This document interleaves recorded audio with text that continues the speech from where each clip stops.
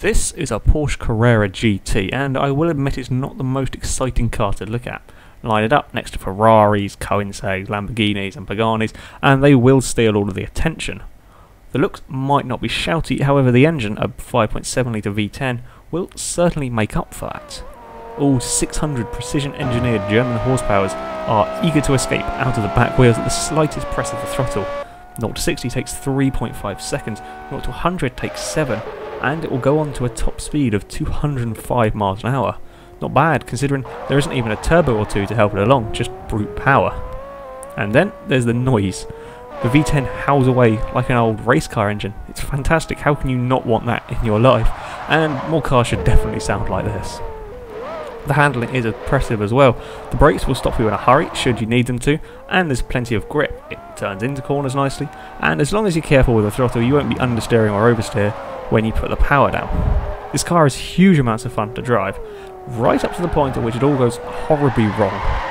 If you overstep the line by even a millimetre, physics will have you and you will be facing backwards or in a wall or whatever piece of scenery happens to be near you at the time. It is literally like driving on a knife edge.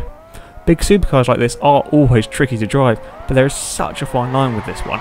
One moment everything will be going amazingly well, and then the next you'll be scattered in bits in the gravel trap. If anything, I say driving this is closer to driving a V8 supercar than anything else. You have to be 100% focused on what's going on around you.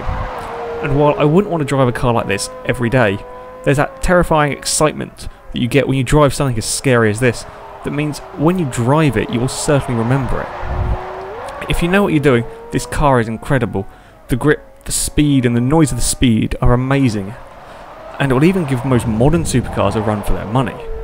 If you don't know what you're doing though, you will probably spend a lot of your time in a cloud of tyre smoke facing the wrong way. And now it is time to hand the Carrera over to the Stig and see what lap time he can get out of it. Now, expectation wise, this is a relatively high S-Class car. I wouldn't expect it to be sort of up with the Saleen, but it should put in a, a relatively quick time. It'll be interesting to see where it compares to like the 458 and McLaren. Up to the first corner, he gets turned in nicely. There's actually bit of oversteer there on the exit. He wants him to escape towards the grass, but he keeps it under control. Up to Chicago now, and it's looking like it's understeering a little bit more than I was expecting it to, but of course he keeps it all under control. Now he can unleash all 600 horsepowers, and it's a very, very fast car in a straight line. It's surprisingly fast. It catches you out just how quick it is. A heavy on the brakes, into the hammerhead, gets around the first part nicely. There's some more understeer through here actually, much more than I was expecting to see from this. And then there's plenty of oversteer on the exit car barely under control there. It's Stig is having a, a, tough time with this one.